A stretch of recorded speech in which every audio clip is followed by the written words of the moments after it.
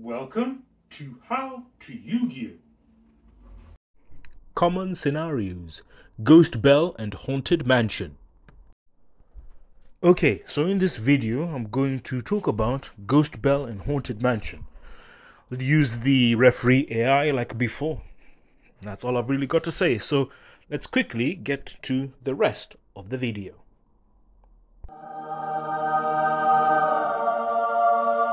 I activate Lightning Storm. That looks scary. I will protect Mirrorjade by banishing Branded Opening from my graveyard.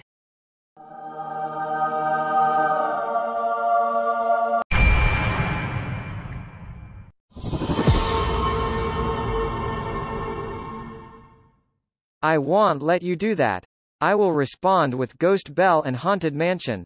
You're wrong. My Mirrorjade will be safe. Let's call the judge to end this debate. So you must be wondering, does Ghost Belle and Haunted Mansion negate branded opening? The answer is no. Reason being branded opening is an effect that pays the cost, it is not classed as activating, similar to the Ash Blossom ruling I mentioned before. It's important to realize in Yu-Gi-Oh paying the cost is not classed as a card activating its effect. So effects that negate effects will never work on paying the cost effects. This is a hidden rule in this game, be wary of this. It's cause it's this rule in particular that gives this game its reputation for being complicated, as few people know it exists and the ones that do. Don't spread the information to others. You can only cower in despair. My Expirally Noir on the field is invincible. Not for long. As I activate XYZ Encore.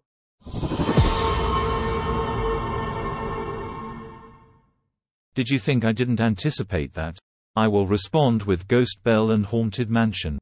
Wait, what? That can't be right. I'm calling the authority, right this instant. I can see the surprise. You must be shocked to wonder why Ghost Belle and Haunted Mansion is activated to stop XYZ Encore. Before we get to why XYZ Encore is negated, let me remind you Ghost Belle and Haunted Mansion's effect. When a card or effect is activated that includes any of these effects, quick effect you can discard this card, negate that activation.